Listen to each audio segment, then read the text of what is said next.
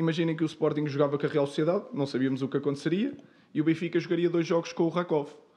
E poderíamos estar a falar daqui de completamente diferente, do cenário completamente diferente. Portanto, hum, de certeza que a equipa do Sporting não está iludida com isso eh, e sabe que tem que ganhar o jogo, porque é importante, porque não, não é decisivo, mas é muito desconfortável ter não só apenas basta um ponto de desvantagem, mas ter seis pontos de desvantagem para uma paragem, nós sabemos que é muito desconfortável uh, e acima de tudo não queremos perder o primeiro lugar. Portanto, está tudo em jogo.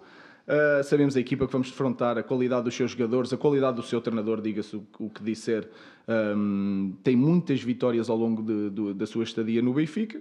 Portanto, não estamos nada iludidos, mas estamos preparados para o jogo e queremos muito ganhar, ganhar este jogo. Nós não temos ilusões em relação a isso, não é o Benfica mais fragilizado, não joga, não, não joga. Há muitos jogadores que também, o Neres não vinha a ser titular, o Coxu variava também nos, nos jogos, o Bá ia trocando com, com o Arsenal na, na direita, portanto é um Benfica na máxima força, vai lutar com, pela, pela liderança e nós vamos fazer o mesmo. Em relação ao sistema, hum, eu tenho uma ideia, não vou dizer aqui qual é a ideia que eu acho que o Benfica vai vai apresentar amanhã. Trabalhámos isso, trabalhámos os dois sistemas.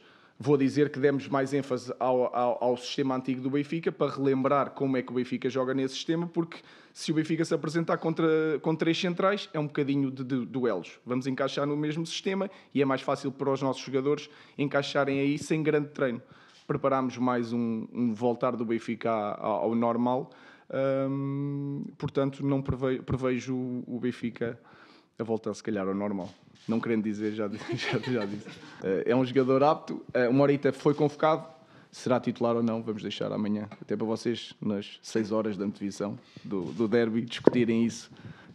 Mas estão, quer o Victor, quer o Morita, estão aptos para o jogo e vão, vão ser convocados. Não, o Jenny mantém-se, uh, de resto, tudo bem, tudo pronto para o derby.